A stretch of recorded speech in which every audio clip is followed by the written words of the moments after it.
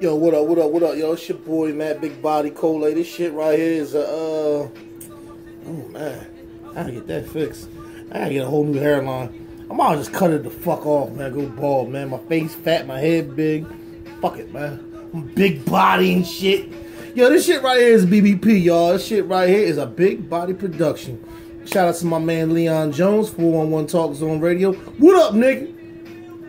Shout out to my man, our man Osiris and Deception Stoppers. Got a law. What up? Shout out to my mans and them from uh, Independent. You know who you are. Mark, Mark, Mark Ruffalo, Mark Ruff Ruff, Mark Dark. uh, shout out to my man Earl the Pearl from Sacramento, my man Marco from Indiana. Yo, I'm gonna get into oh, shout out to the subscribers and shout out to the fucking haters, man. The ones that be having some fuck shit to say. Fuck you. Ah.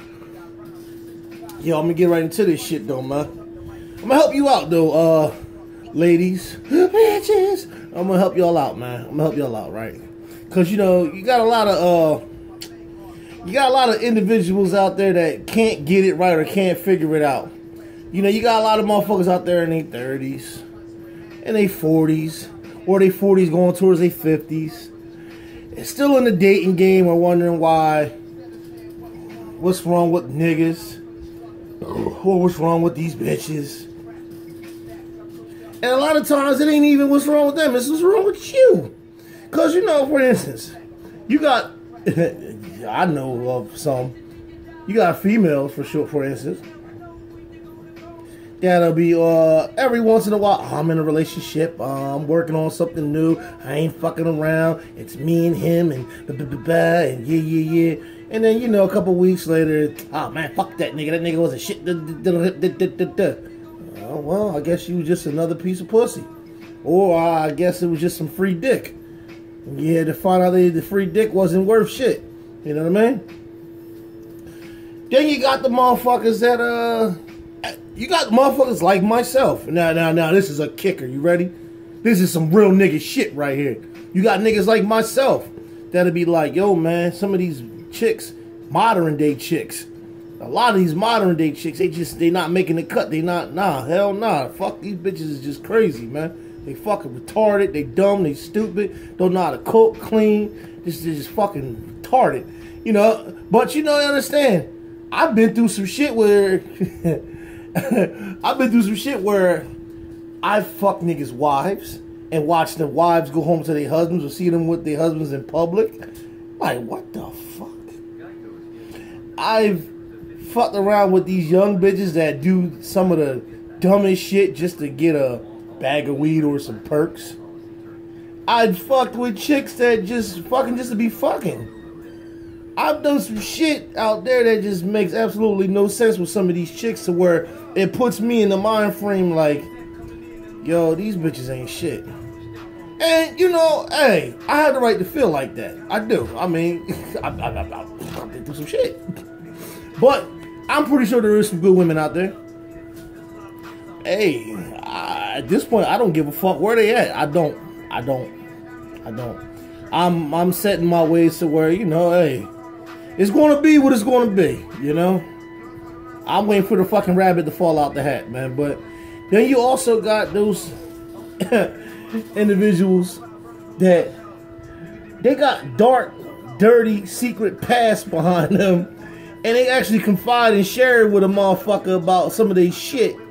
And then they expect the nigga to want to take them serious and be in a relationship with them when it's like, okay, for example, I know an individual I know an individual clearly that can't handle pressure. And when she gets like having doubts and insecurities in her mind, she'll take it upon herself to go fuck with another nigga while she's still dealing with the name the main nigga that she's having them doubts and insecurities about. It's just cause she that's that's her outlet. She likes to fuck. So then when you share this type of shit with a motherfucker that you want to take serious, that you want for you, how the fuck you expect that nigga to take you serious? It's just like, how you want me to, how you want me to, you done, you done suck the mailman's dick, the milkman's dick, UPS and the Amazon man's dick all on a Sunday. and you want me to take you serious on a Monday or just at all, you're a dick sucker. You like to suck the fucking delivery dick. So come on, let's be for real. A, a man cannot take something serious that has a crazy history. I mean, it's one thing if you got a past and you put it behind you and you're actually growing and moving forward, but when you have this repetitive, trifling, hoish, childish behavior, which is it's funny I say it like that because I mean it's childish, but it, it's it's sometimes it's just an outlet for some people. You know, like who who doesn't like to wake up in the morning to a good old dick suck or a nice old nut? I would love to wake up just to bust a nut, go back to sleep for 30 minutes, hit the snooze button, get another 15 minutes, and then get my ass up and get ready for work. But we all can't. We all have our own ways of having our outs. So you know, hey, some people have their outs in ways that just don't sit well with each other. But when you expect a motherfucker to really want to take you serious after you done did some shit and share some shit with that person, and you still kind of carry them traits and characteristics on currently, or you show a change of pattern in your behavior. Like for example, I know this chick, you know, I'm a I ain't gonna throw her name out there because you know I still currently uh you know deal with her on and off, kind of sort of like you know it's hard, it's complicated, but I know this chick. She has a nice little uppity sex drive. She sucks. I mean, you know, and uh, yeah, I mean, all that good shit. You know what I mean? So I know this. We could be outside, chit chatting in the rain I could bend her over the fence and stab her right up in right between the legs. Bam! And it's nothing. You know what I mean? I could motherfucker recline the seats back in the car, throw one of her legs on my motherfucker's shoulder, throw the other one up in the wherever the fuck this open room at, and you know, lick lick her uh chocolate drop. But you know, I'm just saying, like it, it go down anywhere. So when she start doing shit like hold out on the pussy for weeks at a time, or acting like she don't want to be bothered, when I know where your sex drive is at, then, like any man, we're gonna begin to believe, okay, bitch, who you fucking? Who dick you sucking? Who the fuck, who the fuck you out here doing? Cause you wasn't acting like this before, and I ain't been known you. I know how you get down. So when you start doing different shit that that you ain't normally used to doing, I'm and I'm under the belief that you. I don't give a fuck if you got a goddamn cramp in your ass, bitch. You fuck on any given second. And don't hit me with them on my period shit, cause niggas run red lights. Yes, they do. So don't hit me with them on my period shit. See, when you, when you, when you, you got that type of rapport with somebody, and then they start doing different shit. Like if I was to start holding back on the dick from her, knowing that, and she know like I like the fuck. If I stop licking the pussy, and she know I like to lick pussy, she gonna look at me kind of crazy, like yo, what's up, nigga? What the fuck? You know what I'm saying? So I'm just saying, like, and I use my example for just a generalized statement, like you can't be out here trying to switch your style up and expect the same results from a nigga. And niggas too, you can't be out you can't be on that shit as well.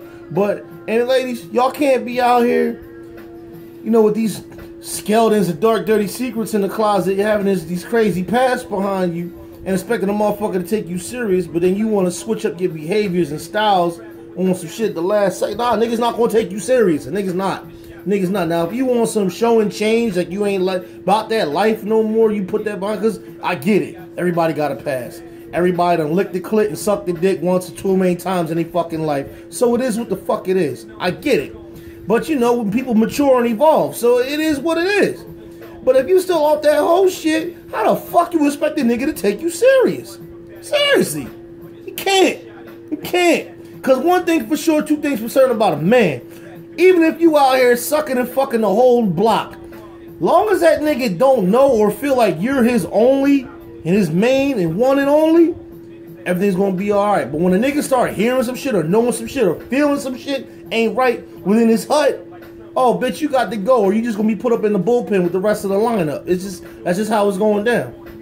And hey, I might have gave out a little too much information, but I did you motherfuckers a favor. If you don't like what I'm saying, oh well. Don't don't click on to me. Don't watch me. Don't listen to me. But if you like what you hear, you like you see, you like what's going on, like, share, subscribe, and you know, stay tuned. It's your boy Matt Big Body Cole. This shit right here is a BBP. Later, y'all.